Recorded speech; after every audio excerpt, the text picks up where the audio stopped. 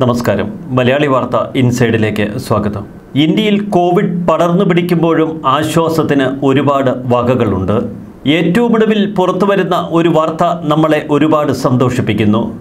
കേന്ദ്ര പ്രതിരോധ ഗവേഷണ കേന്ദ്രം ഡി ആർ ഡി ഒ വികസിപ്പിച്ച കോവിഡ് മരുന്നിന് ഇന്ത്യയിൽ അടിയന്തര ഉപയോഗത്തിന് അനുമതി ലഭിച്ചിരിക്കുന്നു. കോവിഡ് രോഗികളിൽ നടത്തിയ പരീക്ഷണത്തിൽ അനുകൂല ഫലം ഉണ്ടായതിനെ തുടർന്നാണ് ഈ മരുന്നിന് അടിയന്തര ഉപയോഗത്തിന് ഇപ്പോൾ അനുമതി ലഭിച്ചത്. ഡ്രഗ് കൺട്രോളർ ജനറൽ ഓഫ് ഇന്ത്യയാണ് ഇത്തരത്തിൽ അടിയന്തര അനുമതി നൽകിയതും. Drug two deoxy D glucose two D G എന്ന മരുന്ന് ഡി ആർ ഡി ഒ ലാബും ഹൈദരാബാദ് ആസ്ഥാനമായി പ്രവർത്തിക്കുന്ന ഡോക്ടർ റെഡ്ഡീസ് ലബോറട്ടറിയും സംയുക്തമായാണ് വികസിപ്പിച്ചെടുത്തത്. ചെറിയ പാക്കറ്റിൽ പൗഡർ രൂപത്തിലാണ് കോവിഡ് മരുന്ന്. ഇത് വെള്ളത്തിൽ ലയിപ്പിച്ചാണ് കഴിക്കേണ്ടത്.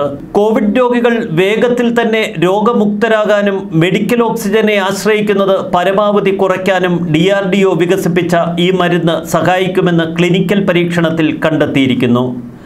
മരുന്ന് നൽകിയ വലിയൊരു ശതമാനം കോവിഡ് രോഗികളും R T P C R പരിശോധനയിൽ കോവിഡ് നെഗറ്റീവായി മാറി. കഴിഞ്ഞ വർഷം മെയ് മുതൽ ഈ വർഷം ഒക്ടോബർ വരെ നടത്തിയ രണ്ടാം ഘട്ട പരീക്ഷണത്തിൽ ഈ മരുന്ന് രോഗികളിൽ സുരക്ഷിതമാണെന്നും രോഗമുക്തിയിൽ ഗണ്യമായ പുരോഗതി ഉണ്ടാക്കുമെന്നും കണ്ടെത്തിയിരിക്കുന്നു. നൂറ്റിപ്പത്ത് രോഗികളിലാണ് രണ്ടാം ഘട്ട പരീക്ഷണം നടത്തിയിരുന്നതെങ്കിൽ ആറ് ആശുപത്രികളിലായി ചികിത്സയിലുള്ള കോവിഡ് രോഗികളിലാണ് മൂന്നാം ഘട്ട പരീക്ഷണം നടത്തിയത്. ഇന്ത്യയെ സംബന്ധിച്ചിടത്തോളം ഏറെ നിർണായകമാണ് ഈ വിവരങ്ങൾ.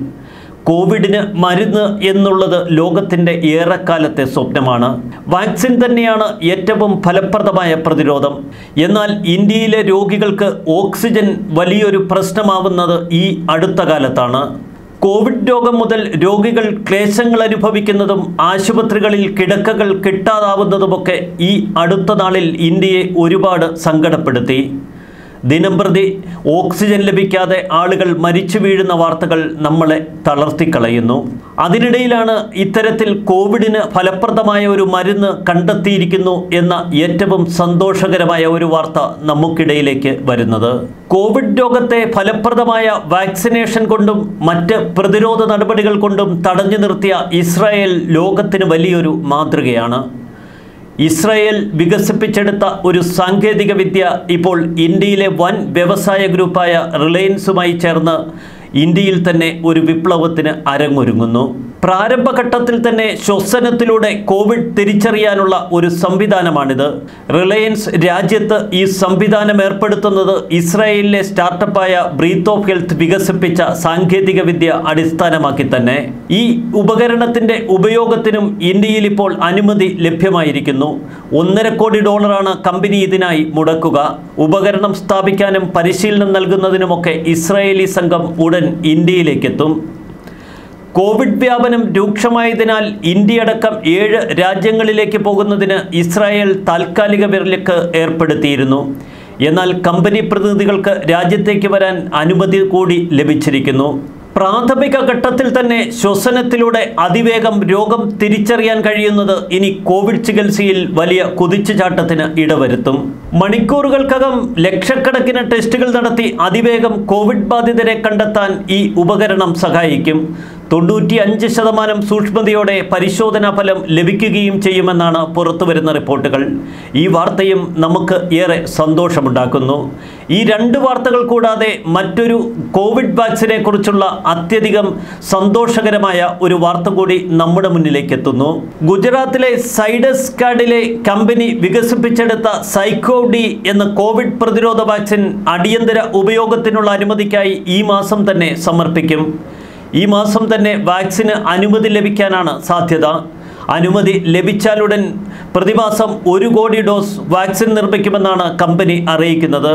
വാക്സിൻ ഇഞ്ചക്ഷൻ വേദനയില്ലാത്തതും മറ്റ് പാർശ്വഫലങ്ങളും ഇല്ലാത്തതാണെന്നും കമ്പനി പറയുന്നു.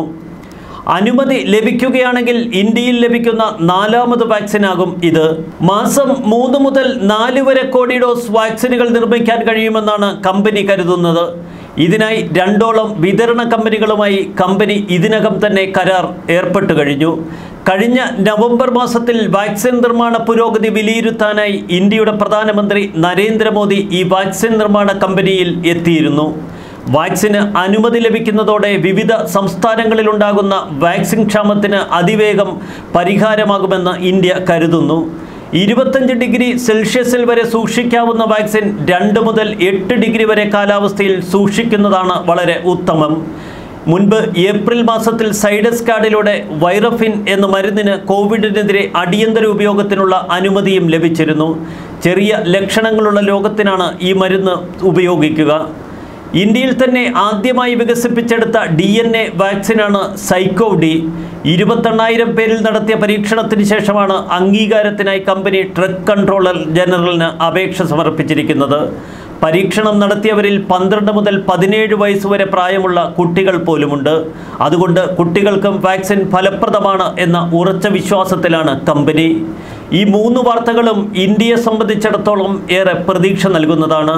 ദിനം പ്രതിയെന്നോണം കോവിഡ് രോഗികൾ ഇന്ത്യയിൽ വർദ്ധിക്കുന്നു. ഓരോ ദിവസവും മരണത്തിന്റെ കണക്കുകളിലും വൻ വർധനമാണ് വരുന്നത്. അടിയന്തരമായി ഇന്ത്യയ്ക്ക് ഇത്തരം ചില അത്ഭുത മരുന്നുകളും വാക്സിനുമൊക്കെ ലഭ്യമായേ തീരൂ. അതുകൊണ്ട് തന്നെ ഇന്ത്യ ഒരു കുതിച്ചുചാട്ടത്തിന് ഒരുങ്ങുകയാണ്. ന്യൂസ് ഡെസ്ക് മലയാളി വാർത്ത ഇൻസൈഡ്.